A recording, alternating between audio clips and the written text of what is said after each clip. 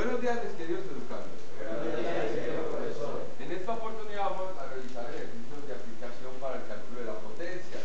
Recordemos que podemos determinar la potencia como la rapidez para entregar una energía, la rapidez para realizar un trabajo.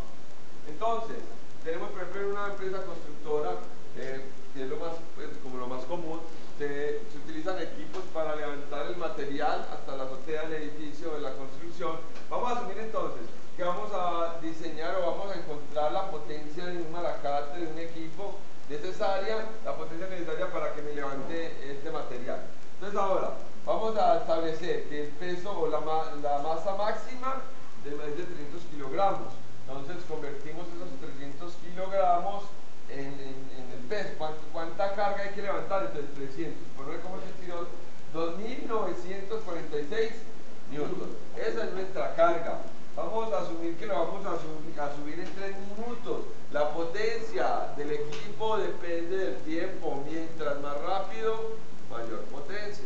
Entonces usted debe equilibrar entonces costos, costos eh, para ver qué, cuál es la más apropiada. Vamos a asumir que eh, para nosotros está bien que en 3 minutos realice eh, ese trabajo. Muy bien. Recuerden que para aplicar todas las ecuaciones debe tener los tiempos en segundos. Entonces, debe convertir esos minutos a segundos.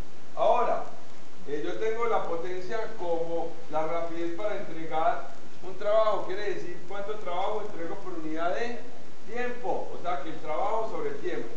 A su vez, recuerden que el trabajo es fuerza por distancia. Y que distancia sobre tiempo es velocidad. O sea que esta expresión o esta expresión es lo que tener la fuerza, fuerza por D sobre T que es velocidad. Entonces hay dos formas para calcular la potencia. Dividiendo el trabajo con el tiempo o multiplicando la fuerza con la velocidad. Entonces puedes aplicar cualquiera. aquí ya conocemos la fuerza. Vamos allá entonces eh, el trabajo. ¿Cómo se calcula el trabajo en esta situación? Pues la fuerza que hay que aplicar por la distancia.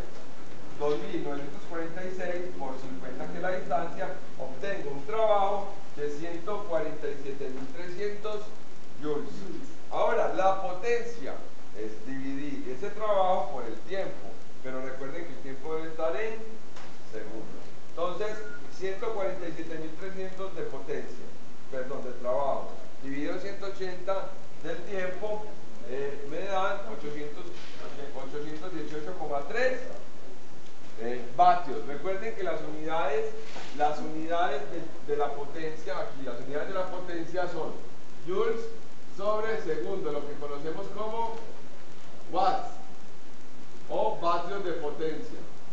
Y con la letra mayúscula W. Por eso, no vayan a confundir este W con este W. Este es de las unidades de potencia, que es watts, vatios. Y este se refiere al trabajo. Muy bien. Ah, que se puede hacer de ambas maneras. Sí, vamos a corroborarlo. A ver, si la fuerza, que ya conocemos la fuerza, que es de 2000 946.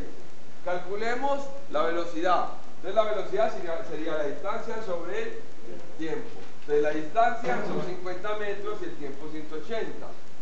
¿Listo? Si usted opera va a tener un decimal. Ojo, dependiendo del número de cifras significativas, el número de, de cifras después de la coma, vas a tener una apreciación o no. Yo aconsejo, déjelo como fracción al operar. Eh, o coloquen el mayor número de cifras que pueda. Por ejemplo, para que nos dé lo mismo, ok, a la fuerza que es 2946, lo debemos multiplicar por 0,27778. Si usted desde el comienzo lo coloca como 50 sobre 180, le da exactamente lo que es 818,3 vatios.